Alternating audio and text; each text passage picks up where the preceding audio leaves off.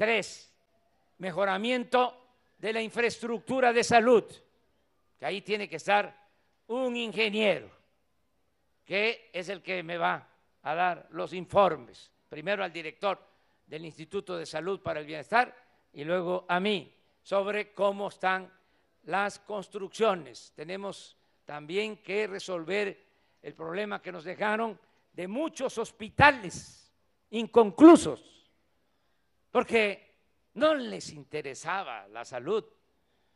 Lo que les interesaba era el contrato, el moche. Y así, no exagero, nos dejaron como 200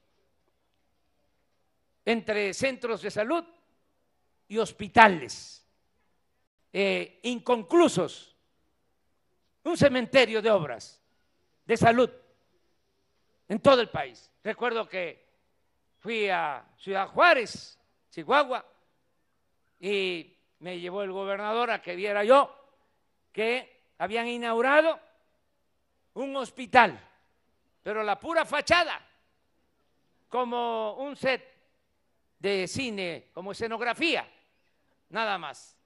Y atrás, obra negra. Y se atrevieron a cortar el listón para salir en la foto.